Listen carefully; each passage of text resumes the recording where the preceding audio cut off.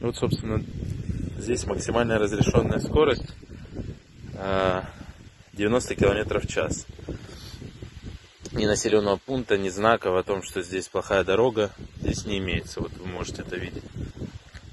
Ни там, ни там. Пока ожидаю ГАИ, жена уехала на скорость с ребенком, поэтому времени у меня куча. Вот я вам показываю, значит, ямы раз, глубину я их сфотографировал, зафиксировал с помощью, вот у меня линейки нет данного болта, размер его вы можете видеть. То есть размером с мой палец этот болт, он полностью по глубине попадает в эту яму. Вот дальше мы смотрим, соответственно, вот попадаем в эту яму, а, машину начинает заносить от удара и начинает сносить вот сюда с трассы. При этом скорость движения моя была меньше даже разрешенной, то есть порядка где-то 80 км в час, может быть 75, вот так я ехал. Потому что, ну, видел, что дорога не очень хорошая, она еще там такой была. Соответственно, скорость я снизил.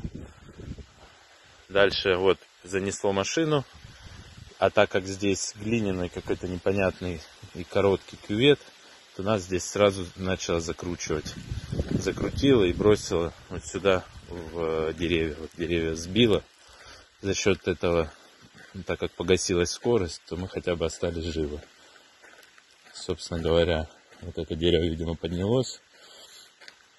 И вот она, собственно говоря, машина. Вот передней частью, видимо, левой Сначала мы ударились, она вся смята. Восстановлению, видимо, не подлежит. А, вот, собственно говоря,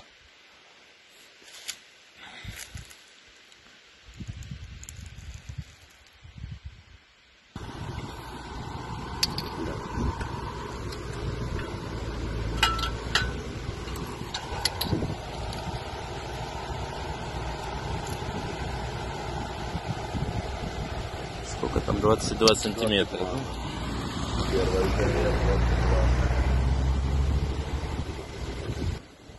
поверхность посмотреть. Я имею в виду всего до этого 22 вот. С удивлением заметил, на самом деле, вот моя машина, что здесь, походу, не я первый. Теряю все, что можно. Вот, собственно говоря, от какой-то машины запчасти лежат вот мы видим. Это не мой. Сначала подумал, что мой отлетел. Нет, там Шкода какая-то. Это колпак от колеса, видимо, ударил в яму и отлетел на обочину. Как раз тоже в этом районе. Вон там яма это, на видео видно ее.